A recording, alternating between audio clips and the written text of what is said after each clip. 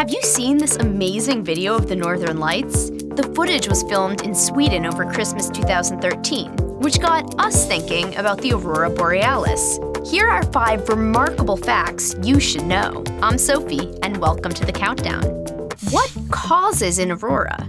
Well, the Earth is surrounded by a magnetic field, which normally helps deflect harmful radiation. When charged particles from the sun, known as the solar wind, fly towards our planet, the field speeds up those particles and directs them towards the magnetic north and south poles. As the solar wind hits our atmosphere, the charged particles collide with atmospheric atoms and molecules and transfer their energy. These gas molecules then spit that energy back out in the form of light.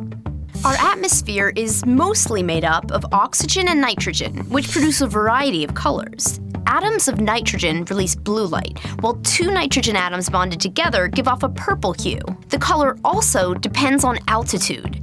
Oxygen releases green light above 100 kilometers, but switches to a reddish color above 240 kilometers. And when colors combine, they can produce other shades, like pink and yellow. The aurora can be a single hue or a shimmering rainbow.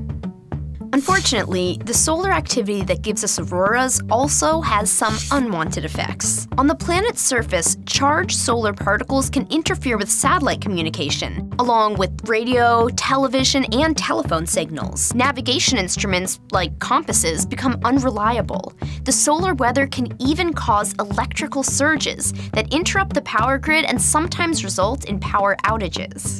Auroras have fascinated humans for thousands of years. This cave painting, which dates back to 30,000 BC, may represent the earliest observation of the phenomenon. But it wasn't recorded in more detail until 2600 BC, when a Chinese manuscript described it as strong lightning. Most early attempts to explain the aurora fell flat. A drawing from 1570 AD attempted to illustrate it as a line of candles hovering above the clouds. In 1619, Galileo thought reflected sunlight was causing the light show, so he named it after the Roman goddess of the morning. It wasn't until the 20th century that Norwegian scientist Kristian Birkeland suggested molecules in the atmosphere were responsible for the light show.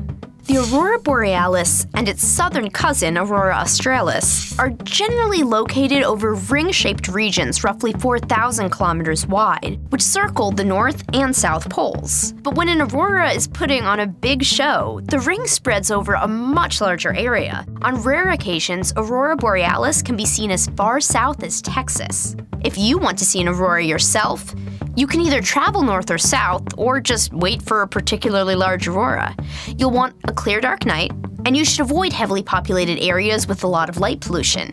Then, just look up and marvel.